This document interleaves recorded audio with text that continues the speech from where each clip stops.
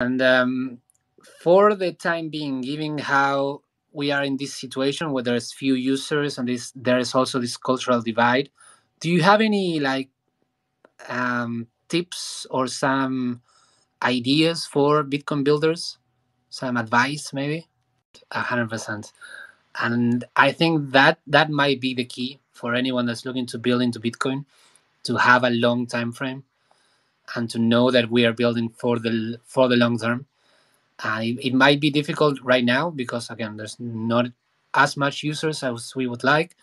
But if you build with that long term perspective, I think um, I think we can we can make something uh, again something that, that will last, something that will add value, and we can slowly onboard um, hopefully everyone at some stage.